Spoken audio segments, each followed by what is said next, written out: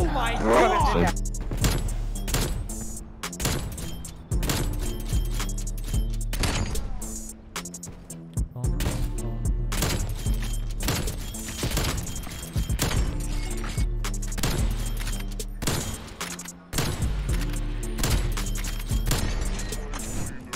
Yo, what's good, Hot Peppers, or anyone that's coming from the SoaR channel? You guys are watching this video because you want to know the best settings for sniping on Black Ops Cold War. Now, before we get into it, I just want to let you guys know that if you're on console or PC, these settings may vary. However, we're to get straight into the graphic side of things. So if you're on PC, I got you guys covered. If you guys are on console, feel free to skip at any point a part of this video. So for graphics, I play on full screen. I play on 1440p, 240 hertz. And actually, before I get into it even further, these are the graphic settings that I find that work best for me. Um, I do play on 1440p. So that means if you play on 1080p, it's to be a little bit different. Um, so we'll get into that a little bit later, but I'll keep scrolling down and kind of just go over um, each and every setting that I use. Um, 120 FOV, frame limit at 335, texture quality at high. Um, if you want to have better FPS, sure, you can drop this down to low, probably get an extra 10, 20 frames, whatever, but it's really not that big of a difference. Um, essentially, you want to have everything on low or disabled. Uh, there's a couple of things that you do probably want to have, like maybe just adjusted a little bit. Um, so for NVIDIA DLSS, like for example, this one, um, I noticed I get an extra 20 frames if, if I play on performance. Um, I have less 20 frames. I play on quality, but I can see so much more when it comes to seeing the things across the map, especially on 1440p. You could use anti-aliasing quality um, and putting it on low. So you have this NVIDIA DLSS on disabled and have this on low if you guys want to have uh, the sharpness a little bit better. But what I find that works best for me is quality. So again, you want to have everything disabled or low. So I'll keep going here.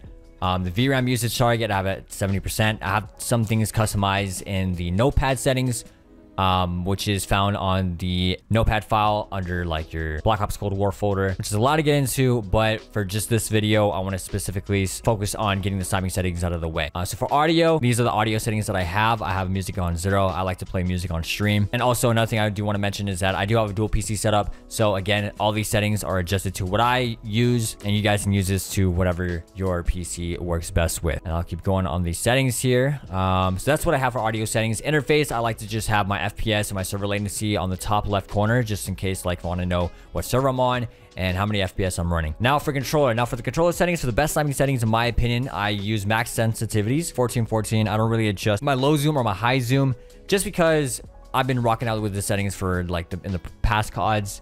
Um, I use tactical flipped. I prefer the bumpers just so that way the bumpers have a better response time than the triggers. Aim response curve type linear. Um, target aim assist, all the aim assist stuff is enabled, including with precision. I find precision working best for me. If you want a stronger aim assist, you can rock out with focusing. That's completely up to you.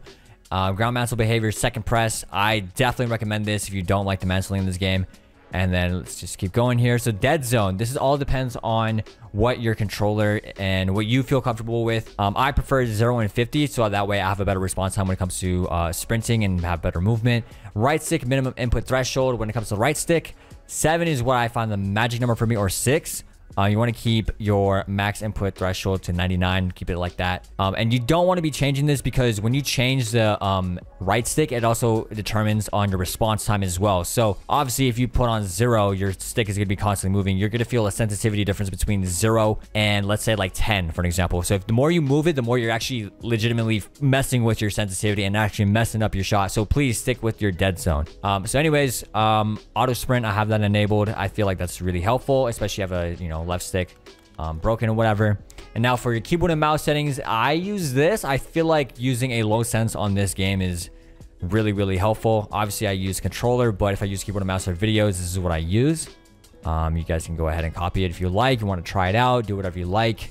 Uh, these are the other settings that I have as well. Again, I don't, um, I don't really use keyboard and mouse unless I just do it for video. So all the keybinds, all personal preference, whatever you guys feel comfortable with, because everyone is just different, right? All right, so now for the uh, class setups, um, we're gonna go over. I'm gonna go top to bottom real quick. First one is uh, SND class setup, SND, SND, another SND class setup. Um, this is patched using five snipers in one class setup, three tundras in one class setup. That's also patched. So ignore these two right here. Uh, and then I have uh, respawn sniper classes such as the Barrett, the Pelington, Tundra, and Swiss. Um, I have a double Sniper class setup glitch tutorial on my YouTube. If you guys want to go check that out, my link will be down below in the description. And then as far as, um, we'll go over the S&D class setup. So first, the Swiss K31 class setup. This is what I use when I use S&D, um, Tiger Team, Tiger Team Spotlight. Um, I actually use Bruiser Grip, but since the, yeah, usually I, okay, so I use Tiger Team Spotlight as the meantime, but usually I use Bruiser Grip on this and then eight round Serpent. Um, I have to use this because this takes away the, the camo on this one, unfortunately. So, fortunately, Cold War, you know, Treyarch did that. But yeah, I would recommend Raider stock when you're playing S&D. Um, and then for the Tundra, don't mind the thermal, but uh, definitely I would be using Tiger Team Spotlight, Tiger Team Barrel, 7 round mag, Serpent Wrap, and then Raider Pad. So same thing applies uh, for actually for the M82. This is what I use: sound moderator, Tiger Team barrel, steady aim laser, infiltrator grip, salvo nine round fast mag. You can use seven round if you like. Doesn't really matter. Serpent wrap, marathon pad, or raider pad. Doesn't matter. And then uh, for these are the, for the perks. We use gunfighter in this class, so I can use seven attachments. I like the regular scope. You can use the axial arms if you like. Um, and actually, matter of fact, this one's supposed to be having uh eight perks. Or oh, not, sorry, six perks, such as this one. So these are the six perks I recommend for S&D. These are the best perks I find very helpful. If you're playing competitive play, obviously a tracker won't be uh, used. Yeah, and also for the Sai, you want to use this or the shovel. The shovel you can run really quick with, um, which is called the E-tool. But the Sai, if you do a jump slide movement, you can actually get to the spawn a lot quicker than any other weapon in the game. So enough of that. Uh, Stim Shot, Tomahawk, and Field Mic. That's what I use for S&D. And then now we're going to get to respawn. So the Pelington, I don't use sound moderator, just so you guys know. I kind of switch it up. I kind of make the classes kind of interesting and a little fun to use. Um, but for the most part, Tiger Team Barrel, Tiger Team Spotlight, 7 round, Serpent, Raider stock. Same thing um, as I would use for S&D. Now for the perks, I use Flat Jacket, Tactical Mask, and Gung Ho. I don't use any Ninja when it comes to playing 12v12 Mosh Pit because a lot of times you're going to be hearing explosives and streaks uh, going on around the map. So you won't be hearing any footsteps. At least for me, I don't need to hear any footsteps unless I'm playing S&D.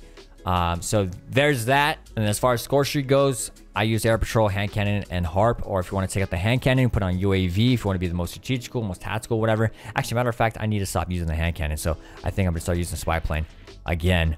But uh, yeah, so that pretty much covers all the settings for this video. If you guys have any questions, please be sure to leave them down below in the comment section. I'll be reading every single one through my YouTube channel, through my account, on the SoaR page, so I can answer your guys' questions. Most importantly, drop a like on this video if this video helped out and subscribe to the SoaR channel and my channel as well to see the best Cold War sniping content on YouTube.